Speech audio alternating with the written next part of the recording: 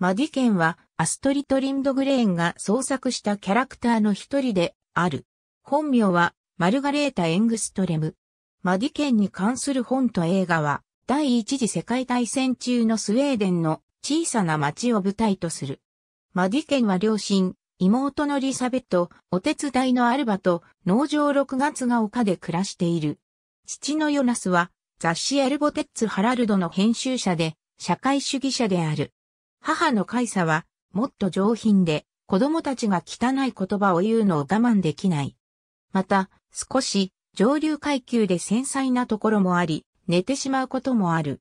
しかし、そんな母もお手伝いのアルバが市長夫人の豪華な舞踏会に参加することを認めるなど、急進主義的なこともある。ビンメルビーにあるアストリット・リンド・グレーンワールドの6月が丘のミニチュア。リサベットの本名はエリサベトで、マディケンが乱暴な子なのに対して、最初は優しい妹だったが、後に姉妹の役割がほぼ入れ替わる。アルバはマディケンとリサベットをとても可愛がっており、まるで姉のように振る舞っている。アルバには婚約者がいないが、すでに結婚して子供もいる。煙突掃除婦にちょっとした恋心を抱いている。また、洗濯や掃除を手伝いに来てくれるリーナスイだというおばさんもいる。おばさんは6月が丘に住んでいるわけではないが、掃除や洗濯をしてくれるので、家族の一員のようになっている。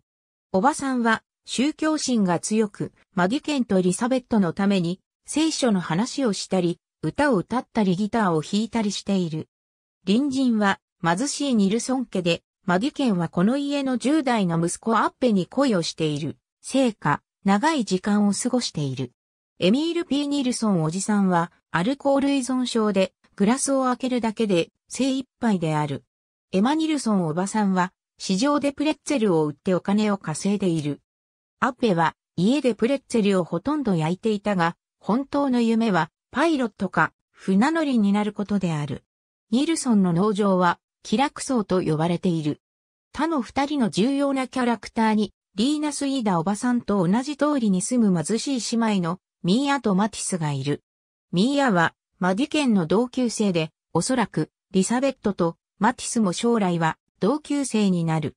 マディケンとリサベットは最初はミーアとマティスと敵対していたが、やがて友達になる。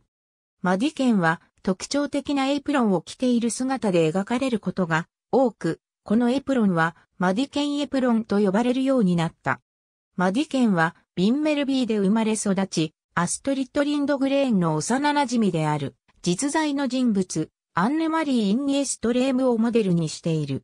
彼女の父親は銀行の取締役で白い石造りの大きな別荘に住んでいた。